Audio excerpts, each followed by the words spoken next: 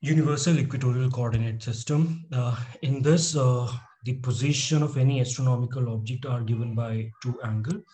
The first one is known as right ascension and the second one is known as declination.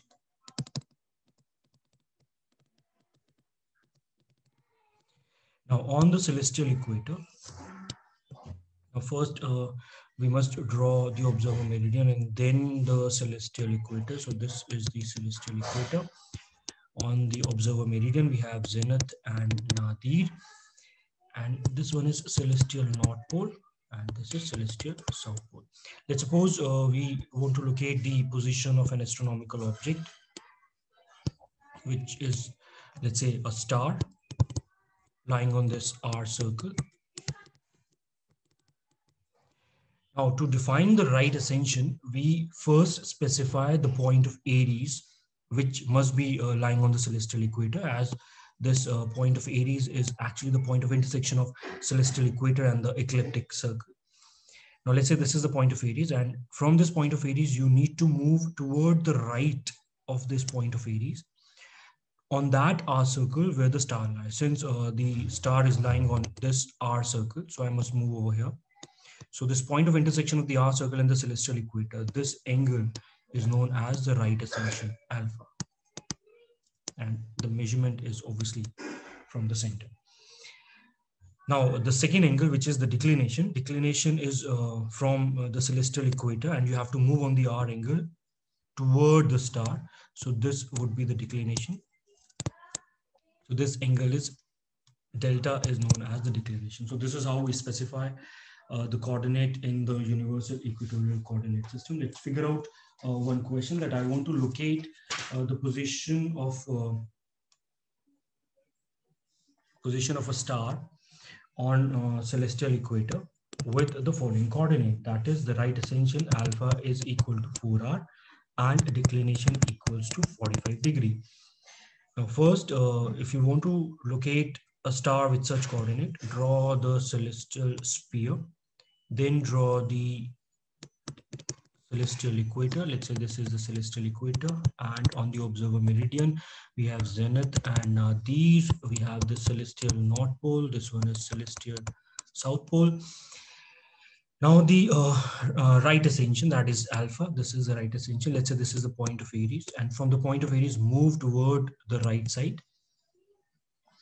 So in 1 hour, we know the angle is 15 degree. Therefore, in 4 hour, the angle would be 15 into 4. That would be 60 degree. So you have to move uh, by 60 degree. Let's say this point represents alpha equals to 60 degree or simply 4 hour.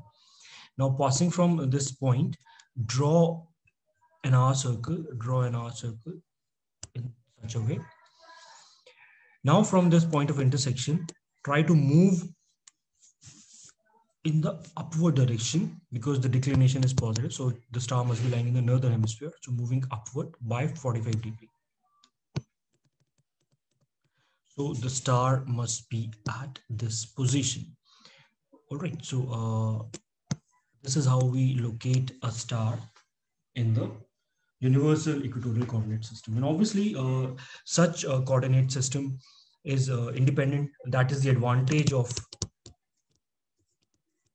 universal equatorial coordinate system. That is, it is in, uh, both the coordinate, both coordinate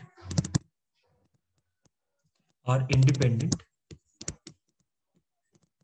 of observer position, observer position, or simply the latitude. And the second is uh, both angle are independent of the diurnal motion. Both angle are independent of diurnal motion that is 24 hour motion that means that even if uh, uh, we look at the star diurnal motion let's say this is the celestial equator and this one is zenith and this one is Martin uh, let's say this is celestial north pole, celestial south pole. So if I consider a star with a diurnal motion, let's suppose this is the diurnal motion of a star. And uh, if at any given time, let's say T1, the position of the star is this, and assuming uh, that the right ascension is over here, then uh, this would represents the alpha and this would represents the declination. This green color declination. With the uh, motion, that means after some time, obviously the star uh, must be moving uh, displaced by some position. Let's say this is the position of the star. Then obviously this right ascension point is also being displaced. So right ascension would move to the side in such a way that the alpha this time, right ascension of the star remains constant.